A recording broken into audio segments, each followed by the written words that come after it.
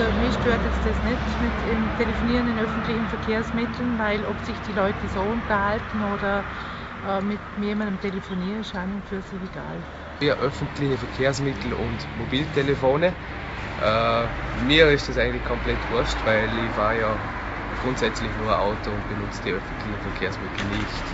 Ich finde es nicht gut, wenn in den öffentlichen Verkehrsmitteln die Handys laufend verwendet werden. Besonders wenn lange Gespräche zu führen sind und die Mitfahrer, die sind nicht interessiert an diesen Gesprächen. Kurz fassen, okay, aber nicht lange Gespräche. Das ist eine Zumutung an die Mitfahrenden. Das sage ich. Vielen Dank.